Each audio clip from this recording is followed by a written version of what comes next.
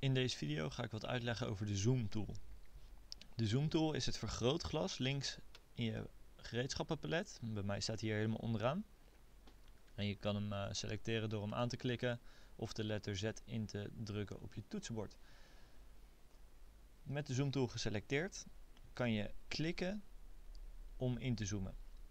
Dus stel dat ik hier op de maan in wil zoomen, dan klik ik daar en dan gaat hij daar naartoe inzoomen. Als ik Alt ingedrukt hou, kan ik weer klikken om uit te zoomen. En hij gaat dus naar de plek toe waar je muis staat. Een snellere manier, en persoonlijk vind ik dit ook een makkelijkere manier, is door je linkermuisknop ingedrukt te houden en te slepen. Als je naar rechts sleept, zoomt hij in, sleep je naar links, zoomt hij uit. En ook dit doet hij naar de plek waar je muis staat. Dus zet hem neer waar je heen wil, in dit geval de maan. Ik klik en sleep, dan zoomt hij daar naartoe in. Sleep ik weer de andere kant op, dan zoomt hij weer uit. Als je nou naar een hele specifieke plek in wil zoomen, dan is een hele snelle manier om dat te doen om je Alt-toets ingedrukt te houden. En daarmee krijg je eigenlijk dat uitzoomen.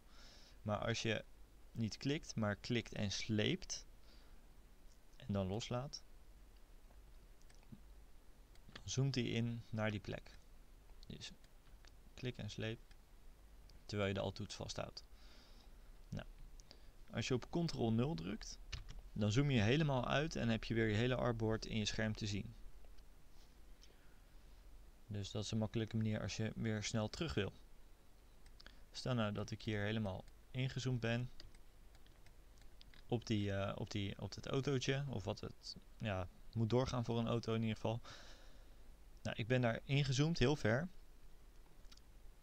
En als je dan naar een andere plek in je artboard wil, maar niet helemaal wil uitzoomen, dan kan je dat heel makkelijk doen door hier rechts onderin in je navigator tapje. Dus uh, die moet je wel eerst even aanklikken. Standaard staat die meestal op transform.